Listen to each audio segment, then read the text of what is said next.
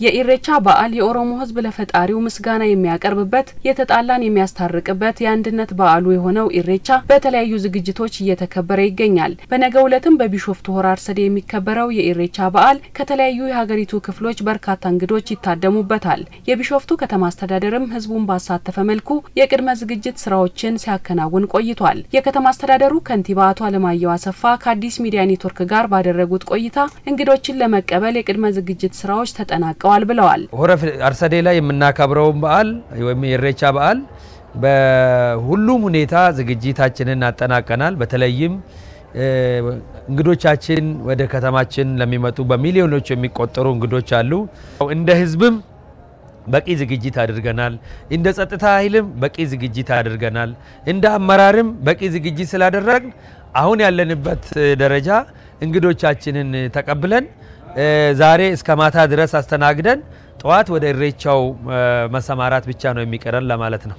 በተለይም በዓሉ ያለምንም የጸጥታ ችግር በወንድማማችነትና በአብሮነት እሴት እንዲከበር ለማድረግ በኢትዮጵያዊ የእንግዳ አቀባበል እሴት እንግዶችን ለመቀበልና ለማስተናገድ ነዋሪዎቹ ተዘጋጅተዋል ብለዋል። በእኛ ከተማም እንግዲህ ሆቴሎቻችን፣ ሪዞርቶቻችን፣ ፔኒሲዮን ሎጆች፣ እንደገና በየአልባሳት ሱቆች፣ የተለያዩ እቃ ሱቆችም ህዝባችንን ለማገልገል ዝግጅታቸውን ያጠናቀቁት እንዳለ ሆኖ እኛ ደግሞ እንግዳችንን ለመቀበል ክፍለ ከተሞቻችን ተዘጋጅተዋል ማለት ነው። ሻይ፣ ቡና፣ ቆሎ፣ ዳቦ በእርድ ደረጃ አቅማቸው የፈቀደውን ያህል እንግዶቻችንን ለማስደሰት እንግዲህ በየክፍለ ከተማ በቂ ዝግጅት እያደረጉ ነው። በየወረዳዎቻችን በቂ ዝግጅት እያደረጉ ነው። የኢሬቻ በዓል ለቢሾፍቱ ከተማ ውበትን ያላበሰና የኢኮኖሚ ምንጭ በመሆኑ ለጋራ ልማት በኃላፊነት ሁላችንም መስራት አለብን ብለዋል። ኢሬቻ ውበታችን ነው። ኢሬቻ ባህላችን ነው። ኢሬቻ ገቢያችን ነው፣ ኢኮኖሚያችን ነው። እኛ ያው ቢሾፍቱ ከተማ እንደምታውቁት በተፈጥሮም የታደለች ነች። ያው ሰባት ተፈጥሮ ሐይቅ ያላት ዙሪያን ደግሞ በጣም ውብ የሆኑ ጋራዎች በጋራዎች የተከበበች ናት።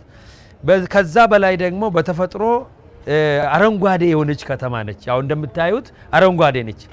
ይህ እንደገና ደግሞ የአየር ጸባይ ራሷ ለሰው ልጆች ምቹ የሆነች ከተማ ነች። ለዚህም ነው የቱሪስት ከተማ ነች ተብላ እንደ ኦሮሚያም እንደ ኢትዮጵያም ይዘን እየሰራን ያለ ነው።